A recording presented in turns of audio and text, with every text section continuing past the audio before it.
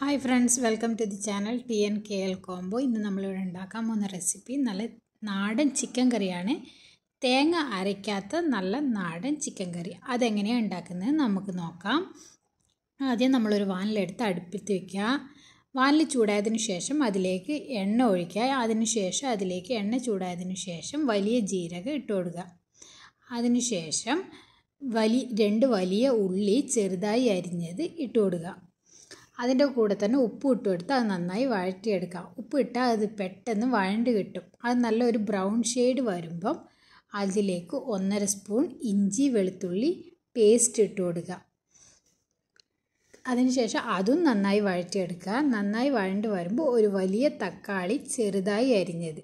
ചെറിയ തക്കാളി ആണെങ്കിൽ നിങ്ങൾ രണ്ട് എടുക്കേണ്ടി വരും. ഞാൻ ഒരു വലിയ തക്കാളി ചെറുതായി അരിഞ്ഞതാണ് എടുത്തിരിക്കുന്നത്. അതും നന്നായി വഴറ്റി കൊടുക്കുക. അത് നന്നായി കുക്ക് ചെയ്ത് വന്നതിന് ശേഷം നമ്മൾ ഓൾറെഡി ക്ലീൻ ചെയ്ത് വെച്ച ചിക്കൻ അതിലേക്ക് ഇട്ട് കൊടുക്കുക.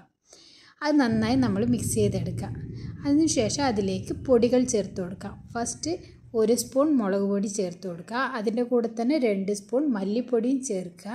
പിന്നെ അര സ്പൂൺ ഗരം മസാല ചേർത്തിട്ട് അത് നന്നായി മിക്സ് ചെയ്ത് നമ്മൾ കുറച്ച് സമയം ഒന്ന് മൂടി വയ്ക്കാം പിന്നെ അത് തുറന്നിട്ട് അത് നന്നായി അത് മസാല എല്ലാം പിടിച്ചെന്ന് തോന്നുമ്പോൾ അതിലേക്ക് ആവശ്യത്തിനുള്ള വെള്ളം ഒഴിക്കുക നിങ്ങൾക്ക് എത്രയും ഗ്രേവിയാണോ ആവശ്യം അതിന് ആവശ്യത്തിനുള്ള വെള്ളം ഒഴിക്കുക വെള്ളം ഒഴിച്ച് നമ്മളത് മൂടി വയ്ക്കാം മൂടി വെച്ചതിന് ശേഷം നമ്മളിപ്പോൾ അതിൽ ചേർക്കേണ്ട മസാല തയ്യാറാക്കി എടുക്കാം.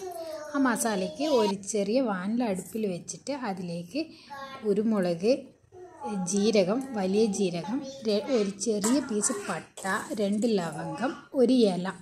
ഇതെല്ലാം നന്നായി വറുത്ത് റോസ്റ്റ് ചെയ്തെടുക്കുക. ആ വറുത്തത് നമ്മൾ മിക്സി ജാറിൽ അടിച്ച് പൊടിയായി വെക്കാം പിന്നെ നമ്മൾ ഓൾറെഡി ഇവിടെ കുക്ക് ചെയ്തുകൊണ്ടിരുന്ന ചിക്കൻ കറിയിലേക്ക് ഈ മസാല നമ്മൾ ആഡ് ചെയ്ത് കൊടുക്കാം പിന്നെ അതിന്റെ കൂടെ തന്നെ കറിവേപ്പില.